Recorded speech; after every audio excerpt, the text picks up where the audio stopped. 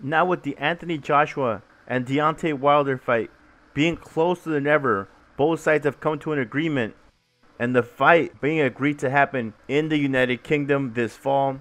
Let me share some info of a possible venue and possible date that was open for Anthony Joshua in the UK.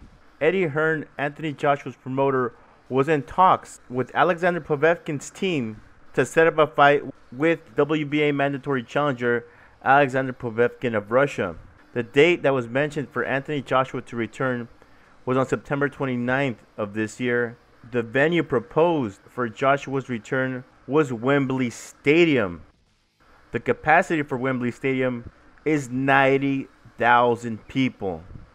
Now, if the Anthony Joshua versus Deontay Wilder fight does happen, and that venue, Wembley Stadium, was open on September 29th for Anthony Joshua, I don't see why these guys should fight anywhere else. It's a big, perfect, open stadium for this big fight.